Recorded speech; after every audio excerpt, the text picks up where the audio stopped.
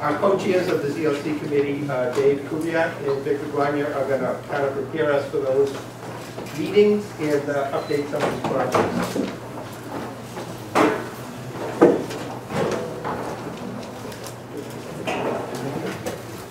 I always seem to get to the end of the meeting when everybody's exhausted. Did you, did everybody get a copy of each of these? There's the announcement of the meeting this coming Monday night in this room at seven o'clock. Yeah. Uh, The presentation by the developer of the Boston Gardens project. Meeting is sponsored by both the neighborhood council and the residents association. We typically had developers come into our regular monthly meetings separately with the council and with the residents association. But we felt that this project in particular, but many of the other projects that will be built, I like to say, at our doorstep, are important enough that they shouldn't just be part of a much bigger agenda. It should be dealt with kind of individually, individually separate from other issues affecting the North End, but not individually with respect to all of the projects that are being proposed in the area. This map and the table behind it, and I'm sorry that the print is so tiny on the back, but it had to be fitted over. This is a work in progress, as you probably noticed by taking a look at that table. Not all of the information is in there yet, but it's a good start. The main thing is the map. You can see that we've identified 10 sites where there will be either has been or will be major projects constructed between now and 2020. We're looking at about a six-year period when all of these projects are going to be constructed. And these are all major projects. We're not even talking about all the smaller projects that are going to be going on around our neighborhood. So there's 10 projects there, and on the back is a table that identifies each of the projects, gives a project description, identifies, for instance, in the project description, the types of uses, office space, retail restaurant space, uh, housing, and hotels.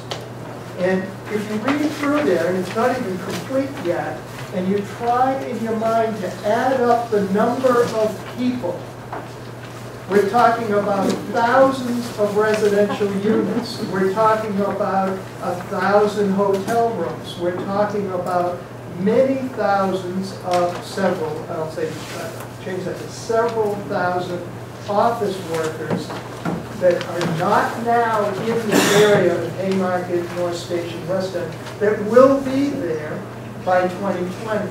So many thousands more people will be in that area every day. Many of them, many of them will have cars, despite what they like to say about uh, transit-oriented development. I like to say, yeah, we have, we are creating transit-oriented development, but do we have development-oriented transit? Can our transit system really accommodate the number of people that the city says are going to use it. Also, the developers say, we're right next to I-93. Well, and, and so people will be able to get into those ramps very quickly and, and head off on the highway. Well, if that were the case, how come we have so much traffic coming over the Charlestown Bridge in the morning and circling around the north end to avoid I-93? And the same thing in the afternoon as well. Our key issue in the comments that NEWRA, and specifically the ZLC committee, has submitted so far on some of these projects has to do with can this area support that kind of development? The roadways, the transit system, the utilities, and if not, what are the impacts going to be? And to find out, to answer those questions, it's, it's not appropriate, it's not going to get you anywhere to have a developer of one of these projects come in like we had, what, a couple months ago, I think, with the, with the government center garage project, you were here. That's one developer selling one project to the community.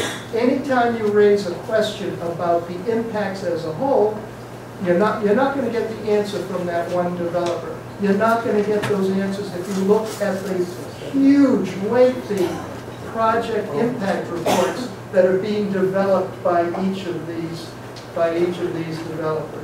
The only people that can answer those questions, or should uh, be responsible for answering those questions, are the city, particularly the Transportation Department, the Boston Redevelopment Authority, even the state MBTA, MassDOT, they need to be coming into the communities and showing why this development is appropriate in this area and, and, and convince us that the area can support all of that.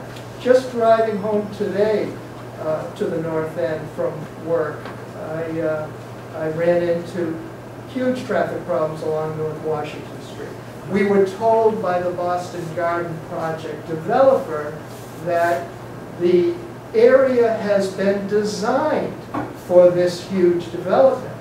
That the Central Artery Project reconfigured the roadways to allow for all of this. And if that were the case, why do we have problems now, even before these developments are built? Craziest thing of all was to create that U-turn to get people from a tunnel up on the ground and back into a tunnel to go to, uh, to go to I-93 from, say, the the Tunnel System. Craziest thing, that in particular was all backed up, all backed up today.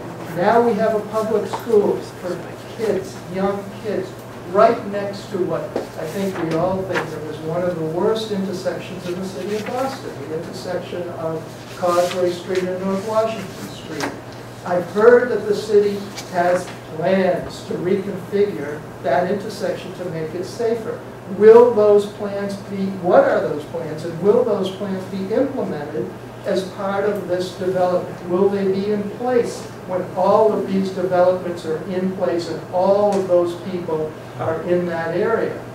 Will the Charlestown Bridge be uh, rehabilitated the plans have been around for at least 10 years, maybe longer than that. I've heard there's some kind of a fight between the state and the city over who's really responsible for, for fixing that bridge. We know that that bridge has been compromised, the structural uh, capacity of it has been compromised for decades.